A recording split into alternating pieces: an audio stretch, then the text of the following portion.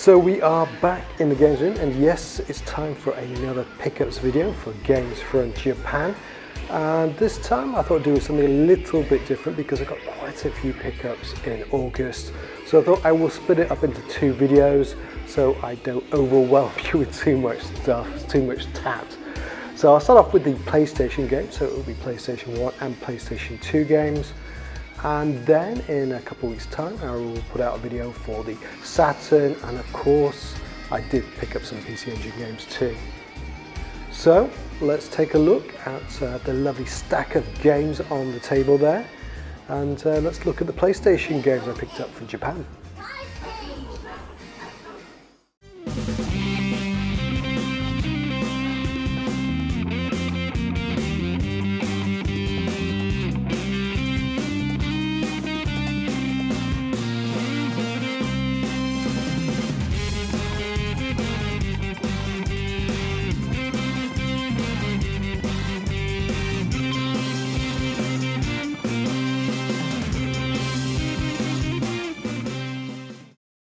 So let's start off with the PlayStation 1 and let's start off with the Shooter 2. A game that most people are very familiar with already. It is Raiden Project. So this is not a Japanese exclusive. It did come out in all regions. In fact, I think it was probably a release title for both PAL and North America. If it wasn't, it was definitely a very, very early release. Normally if a game is released outside of Japan. I do tend to go for the North American version but in this case it really didn't make sense. Uh, the North American version is a hell of a lot more expensive, the Japanese version is a fraction of the price, and also the PAL one too is kind of pricey these days. So I thought I'd save a little bit of money and go for the Japanese version. And let's face it, it's just a port of Raiden 1 and 2, so you know there's no language involved here. And to be honest with you, I feel the cover art as well is a hell of a lot better on the Japanese version, especially compared to the North American one. I do own both the PCBs for these games and I had a quick play to do a comparison and it's by no means perfect but it's a pretty damn good port of the games. They have done a really good job and it's a really nice touch that you've got both Raiden 1 and 2 in the set. So it's a fantastic way to play these games and plus if you get the Japanese version it's really cheap. Sticking with Raiden we have got Raiden DX.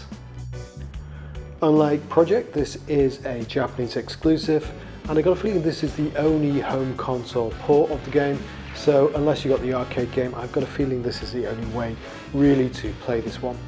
And it is basically a sort of conversion of Raiden 2. It's using the same graphics and basically the same layout, but they have tweaked the gameplay, done some slight changes to the scoring, enough to make you feel like it is a different game.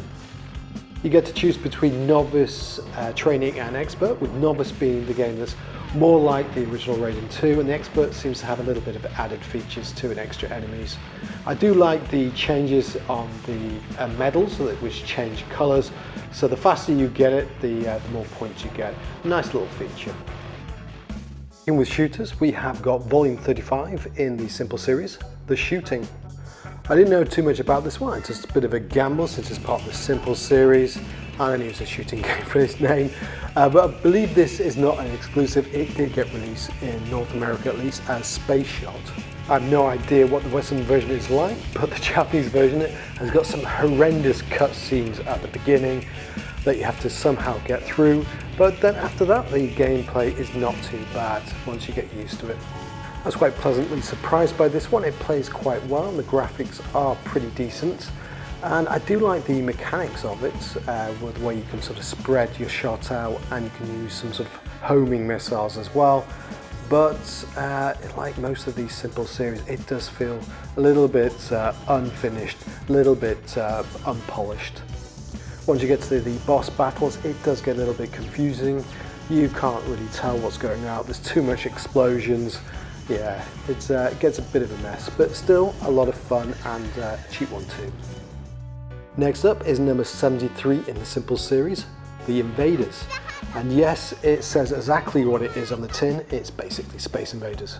This is a nice little Space Invaders collection by Taito. They're all in there. I love the way they've put the little tabletop there to show you the different games that they had and the dedicated cab, of course. Of course, my favorite is there, the classic uh, version of Space Invaders with the reproduced moon mirrored image there.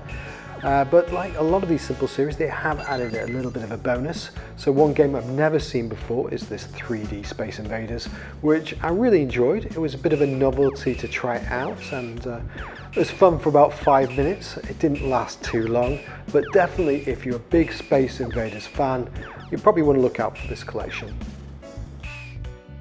Next up is Simple Series Volume 56, The Sniper. Now this one actually did trick me with the name. Yes, I knew it was going to be about sniping, but I thought it would be using the gun. It's not, it's using the controller. This is all about presentation over gameplay. You've got some fantastic cutscenes and introductions to each level, but just feel like the game developer is just advertising uh, to other developers to, to buy them up and just a bit of a tech demo really. Gameplay wise, it's very simple. You're basically given a mark at the beginning of each episode and you just scan the environment looking to where they are. Maybe they're sitting in a restaurant or walking down the street. Yep, and you just take them out. And uh, then you're back to some more cutscenes and some more jazz music. Nice. Next is Simple Series Volume 94, The Cameraman. Now this one, I was kind of shocked to see this on the PlayStation 1. It's uh, basically a re-release of Gekibo, Gekisha Boy, that was on the PC Engine, that was published by Irem. I'm a big fan of the PC Engine version of this game. It's a lot of fun. It's a weird, quirky little game. Uh, the idea is sort of guide your photographer uh, around this town. He's got an assignment to take picture of certain things. And in this town, a lot of weird things are happening and the weirder the event that you capture, the sort of more money you get. And you also get additional camera film. And if you hit like balls and skateboards, you'll lose your film. If you've got no more film, it's game over.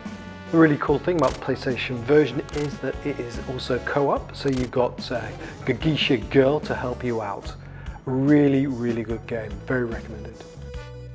Was even more shocked to find out that there was a sequel on the PlayStation 2. It is Gekibo 2. It's very cool that Irem actually put out a sequel for this one. And uh, as you expect, it's pretty much the same as the first game. But of course, you've got much better graphics and a lot more crazy, wacky things that are going on. They didn't really have to change much to this game. They did have a sort of additional sort of zoom feature to it, so you can sort of focus in a little bit into the background, which is a cool feature. I'm just glad that they didn't go all 3D on this game. They didn't need to. Don't know if I got lucky with this one, but it wasn't expensive at all in Japan. But on eBay, ridiculous money. So try and get it from Japan if you can. Next up is another sequel that I had no idea existed on the PlayStation 2. It is Twinkle Star Sprites La Petite Princesse. If you ever watched my arcade pickups, then you know how much I love the original version of this game on the Neo Geo MVS. It was one of my holy grails and uh, I was super excited to pick up the original MVS cart for this one. So when I saw on Yahoo Auction that there was a sequel to this game, yeah, I was pretty excited about it and I was absolutely stoked to get this one. But unfortunately, there's nothing much new about this game that wasn't already done in the first game.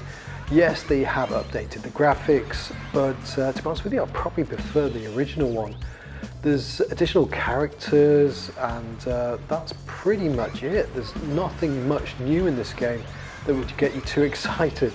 They did add online play to the game, which would have been quite cool back in the day, but that's long gone now and they did have a little hidden extra feature to it. I believe you can unlock the original game, but end of the day, it's uh, nothing new, but I do love the series, so I am really happy to get the game.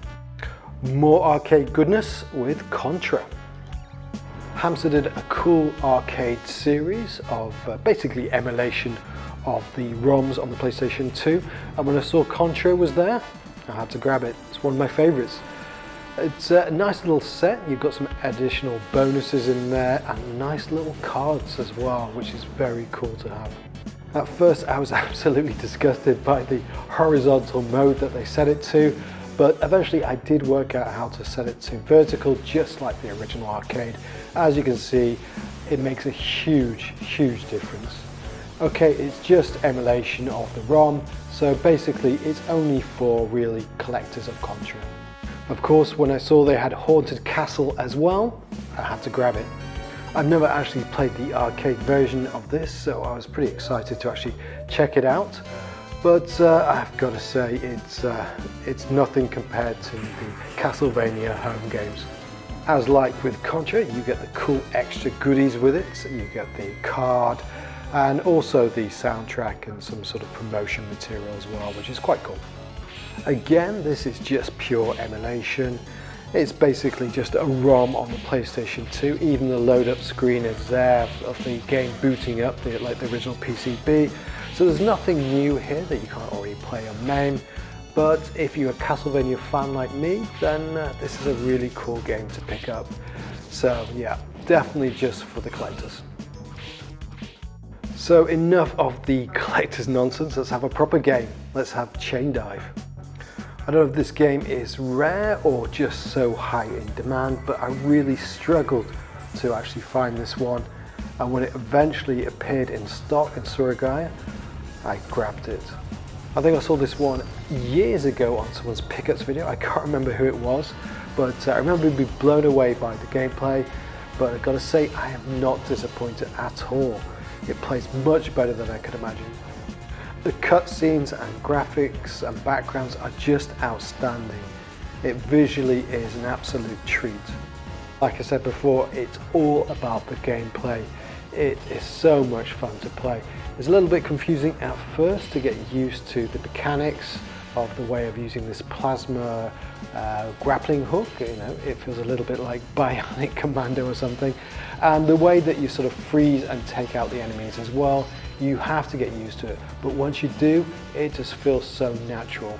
Apparently they did have some sort of association with Platinum Games. I think they maybe joined them or they uh, helped them out on the Bayonetta games. So you definitely get that sort of sense, that silky, smooth action from Bayonetta. You do feel it in this game. So if you like Platinum games, then you will love this game. So there you have it. You've made it to the end of the video. Congratulations. Thank you for watching. Got to say, Chain Dive, really, really good game. But uh, I will be putting out another video. It uh, will be the PC Engine games and the Saturn games. And uh, I'll be thanking you again and uh, I'll see you later.